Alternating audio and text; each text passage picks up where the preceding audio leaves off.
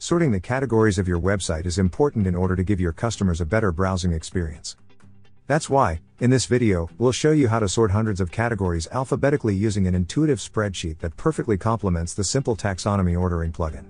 You will no longer have to sort them one by one manually, but will do it automatically so that the categories appear organized on your website.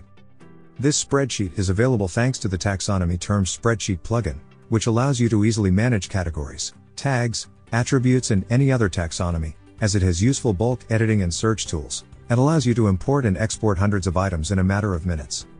You can find the link to download the plugin in the description of this video. Also, you'll find the link to our written guide.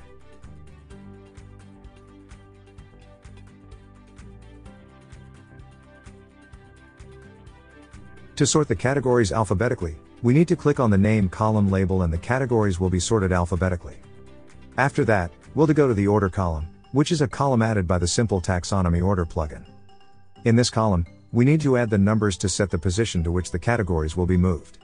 In this case, we will start from 1 and so on to the last category.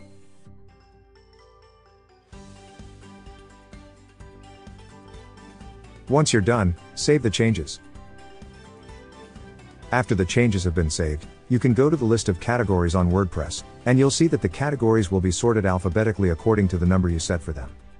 As you can see, with the Taxonomy Terms Spreadsheet plugin, you don't have to worry about having to sort categories manually and waste time, as you can easily do it with a few clicks.